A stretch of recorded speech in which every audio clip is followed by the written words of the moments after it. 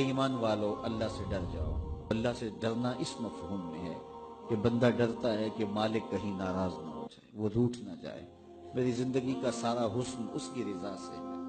और अगर वो रूठ गया तो मेरे पल्ले रहेगा क्या? देखिए, जब अल्लाह रूठता है, नाराज़ होता है तो रिस्क बंद नहीं करता। अल्लाह नाराज़ होता है तो ऑक्सीजन बंद नहीं करता। सूरज को हुक्म नहीं होता कि फला मेरा नाफरमान है।